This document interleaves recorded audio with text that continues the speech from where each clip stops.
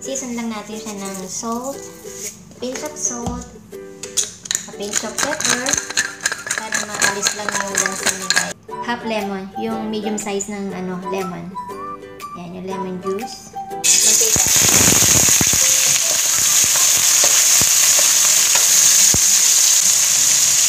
Okay guys, pag ganito na yung shrimp natin, ano? Yan, lumabas na yung katas niya.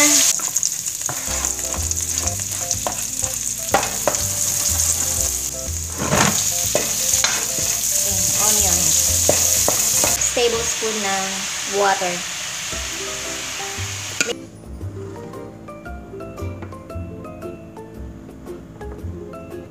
Sana eh, itry nyo rin po yung ating uh, stir-fried tofu with kangkong.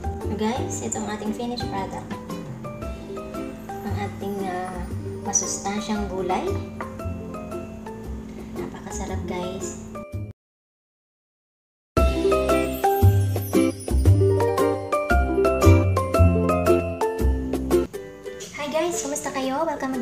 Another episode ng Date Mart.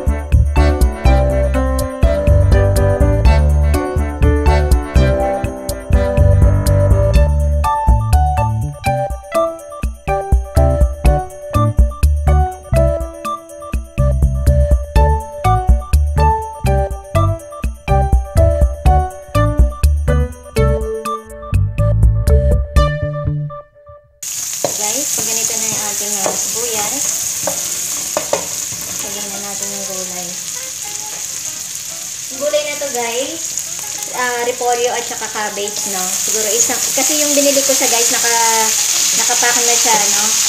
Siguro ito yung isang, ah, one medium repolyo siguro to. Tapos, ah, yung ating toge. At meron din siyang kasamang ah, bell pepper, no? Red bell pepper. Carrots, some sliced carrots, some sliced bell pepper, and ating bichuelas.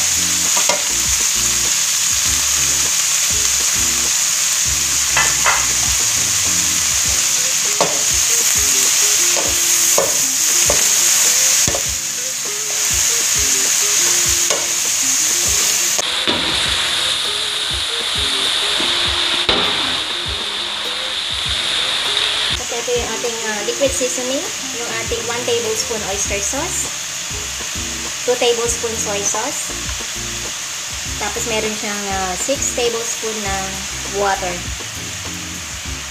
Minix ko siya.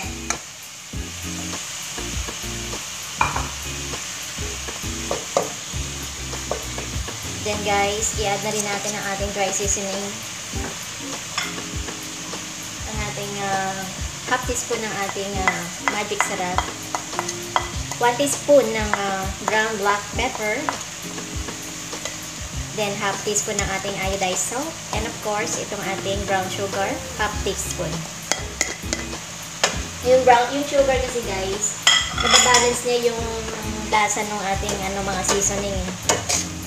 Kaya nag-a-add nag ako ng sugar. Then mix natin siya para mag uh, well blend yung ating mga seasoning na nilagay.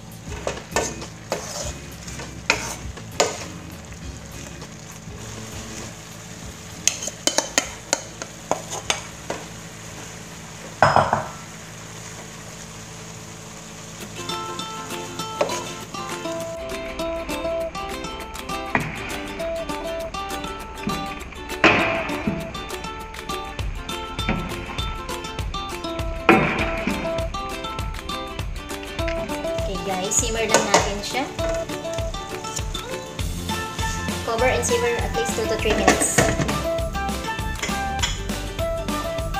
Guys, ito, check natin. After 3 minutes.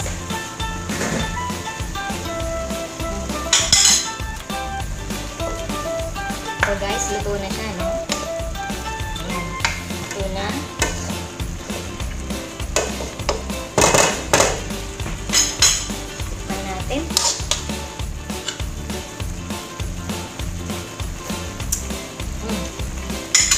na siya guys. Pinch of salt lang add tayo.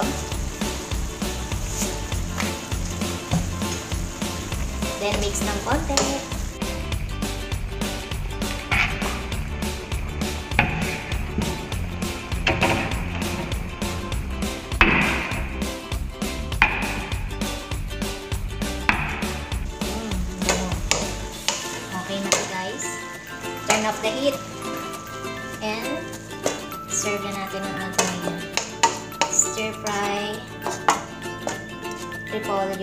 With toge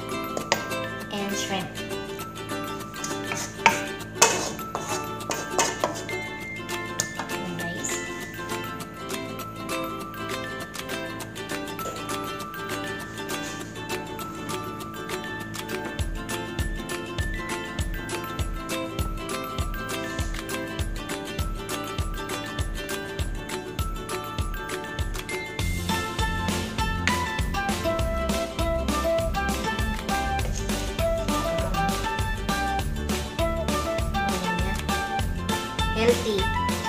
Another healthy dish, guys. At sana, ah, subukan nyo rin yung ating, yung last episode natin, yung ating ah, adobo, chicken adobo with twist. Yung with okra, no? Ah, guys, try nyo po yun. Ah, ang sarap po lang, guys. At ah, sana eh, itry nyo rin po yung ating ah, stir-fried tofu with mga healthy dish natin na gulay na pangmasa. Kayang-kaya guys ang ang budget, no? Mura, easy cooking. Mura lang ang ating mga ingredients pero guys, napakasustansya at ang sarap. Yun ang kagandahan doon eh. Yung ating ah, mga simple dishes na yan guys eh masustansya. At kayang-kaya ng ating bulsa no. Easy prepare, easy ingredients, hindi complicated, di ba? Parang sa relasyon no, hindi complicated.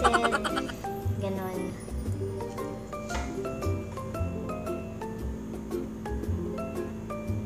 Guys, ito ang ating finished product. Ang ating ah, masustansyang gulay. Napakasarap guys. Ako'y ah, nagugutom na at ah,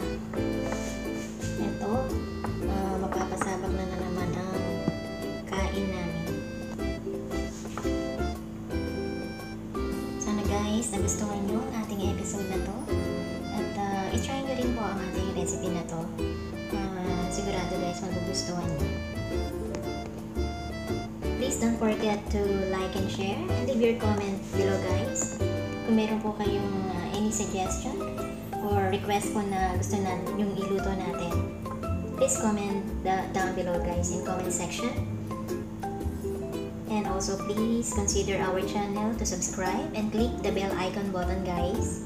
At pakiclick na rin po yung all para po ma-notify kayo lagi pag meron po tayong bagong upload na video. So guys, ah, hanggang sa muli po, ah, maraming salamat sa inyong panonood. Ah, please ah, take good care of yourself guys, Ah, lalo na ngayon, no? Nasa pandemic na sitwasyon pa rin tayo at sana na at sana lagi po kayong ah, mag-iingat, sama po kayo ano man po at ano, ano man po ang inyong ginagawa. Ah, please ah, keep on praying guys. God bless and bye-bye. Ah, tikman natin ang ating ah, niluto guys.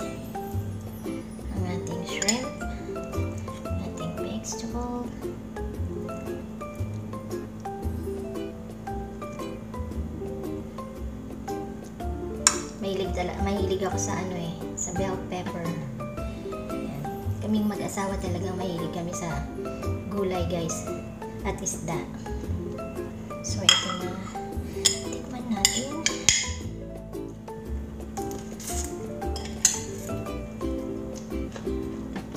Hmm. Malambot yung hipon, ang sarap.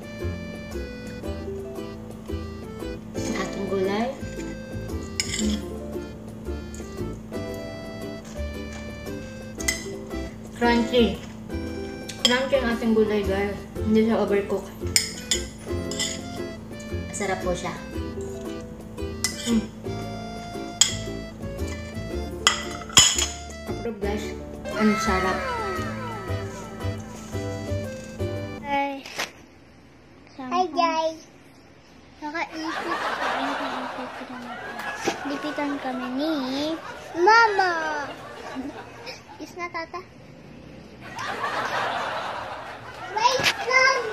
Tawag niya sa akin eh, tata. Smile. Wait lang guys. Wait lang guys. Bye-bye. Bye-bye. Bye-bye. Thank you for watching. Thank you for watching. Bye-bye. Tingnan to.